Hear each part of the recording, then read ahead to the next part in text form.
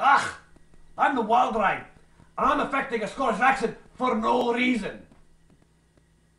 But now that we got that out of the way, have you ever wanted to be like six inches taller, walk around awkwardly, and look like a complete ridiculous idiot? Of course not. But here's the thing that can do that anyway. These are romper stomper shoes. Based on the thing from Romper Room, where the, you had the little cones and you had the little strings, and you put them on, and it's kind of like you're on stilts, but treating yourself like a marionette. Anywho, so if you want to make your make your own, I'll just I'll, I'll not make I'll go through the process. I'll just show you. So of course you need coffee can, um, the six inch type. Uh, a bigger one would be probably too much. Uh, you need something to punch a hole, like a, I just used a screwdriver and a hammer, just, and you punch a hole here, and on the opposite side.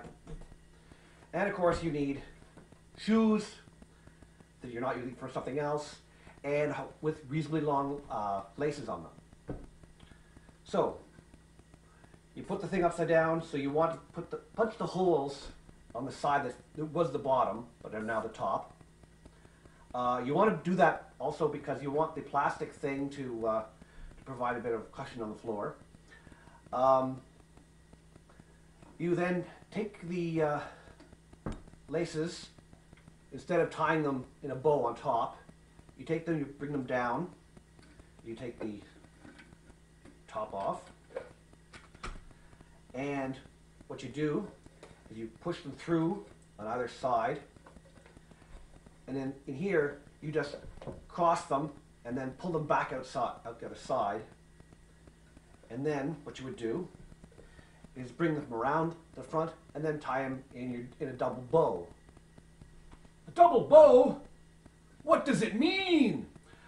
Uh, what it means is you tie it like a normal bow and then you take that and make a bow out of it and it holds the thing better. And I'm sure if you tied your shoes, you know what that is. Uh, keeps them on longer then you, you do it loose and you, and then you just treat your shoes like slip-ons. Anyway, so that's how you make your things, and then you just put the lid back on. Obviously, the they won't last. The lids won't last forever. They'll probably wear out, but who cares? Just probably whoever floor if you're on, and then you're done as far as the uh, things, and you, of course you make it. You make your second one the same same way, and voila, romper stomper shoes. And with them, you can look like this.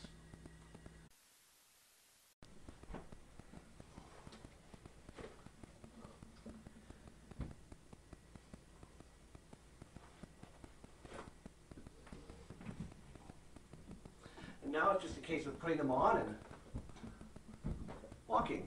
And voila, you're six inches taller.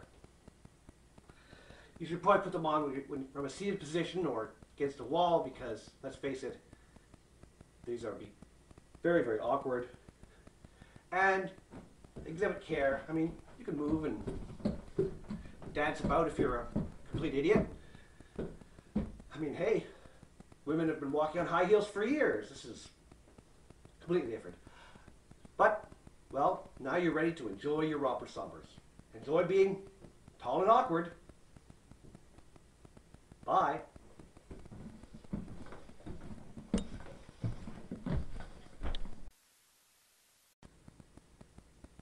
Enjoy!